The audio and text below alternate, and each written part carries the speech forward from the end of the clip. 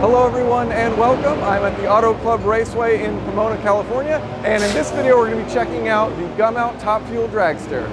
I've been invited by Gumout, an NHRA sponsor and scientific leader in fuel additives, to explore how these cars can produce 7,000 horsepower. These cars run 500 cubic inch V8 engines that are rebuilt after just a thousand feet of travel. Now obviously this is quite a bit different than your road car, which is why Gumout invests in understanding what is helpful and harmful to best take care of an engine. These cars easily exceed 300 miles per hour and reach 100 miles per hour in under 9 tenths of a second. The engine is supercharged, reaching an absolute manifold pressure of about 60 psi by the end of the run. The engines rev to approximately 8600 RPM and have a compression ratio of about 6.7 to 1. It also has no dedicated cooling system. The engines are rebuilt after every run. Pistons, connecting rods, and crankshafts last a maximum of about 10 runs. The camshafts and valves don't have a set frequency of being replaced, but they're inspected after every run. The clutch is replaced after every run, and it does occasionally weld together when it does lock up. The supercharger is freshened after every four runs, but it can potentially last for many runs and is the longest lasting rotating component of the engine. The discarded parts are either scrapped or given to fans as souvenirs.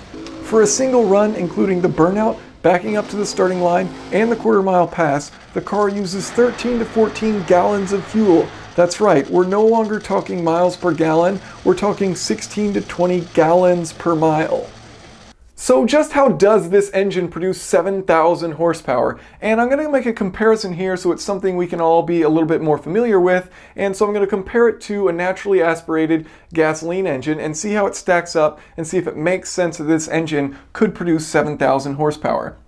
So the first change between this engine and the engine in your car, should you have a naturally aspirated gasoline powered car is that this is using nitromethane. And actually the regulations for NHRA top fuel cars is that they can only use up to 90% uh, nitromethane and then the rest is alcohol. But for the purposes of this video, we're just going to be assuming 100% nitromethane. Now, one of the key differences between nitromethane and gasoline is its energy density. So nitromethane has an energy density of 11.3 megajoules per kilogram, whereas gasoline has an energy density of 44 megajoules per kilogram. So as you can see, gasoline is quite a bit more energy dense, about four times as much energy in the same amount of mass of gasoline versus nitro.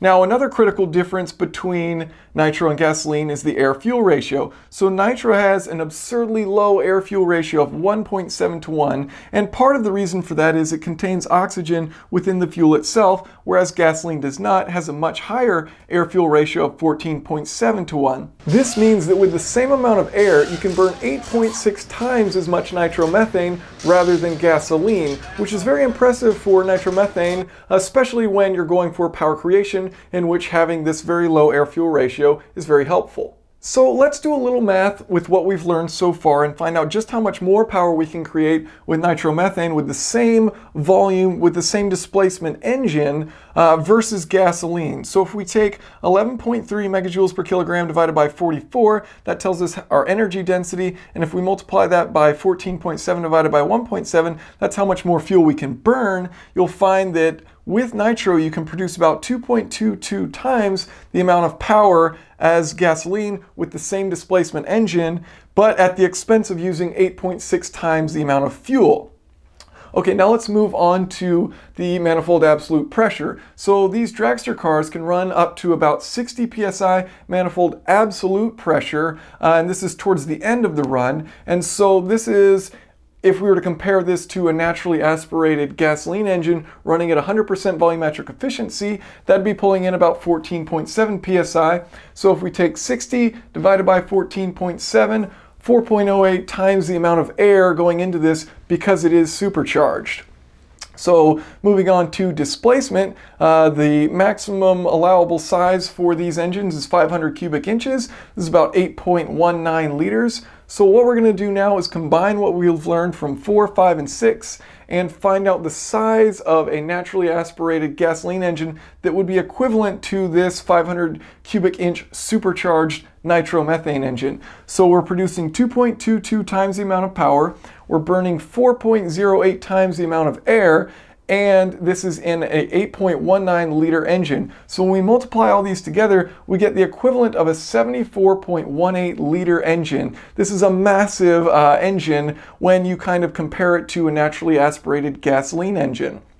So does it make sense that a 74 liter engine could produce 7,000 horsepower? Well, let's just look at its specific output. So 7,000 horsepower divided by 74.18, and that gives us a specific output of an equivalent specific output of 94.36 horsepower per liter if this was a naturally aspirated 74 liter gasoline engine. Well, does that number make sense? Actually, yeah, it's a very reasonable number. Uh, if you were to look at an economy car, such as like a Toyota Corolla, that's going to be around 73 horsepower per liter. If you were you to look at more a sports-oriented, you know, a supercar performance like the Ferrari 458, that's producing around 125 horsepower per liter. Remember, both of those being naturally aspirated.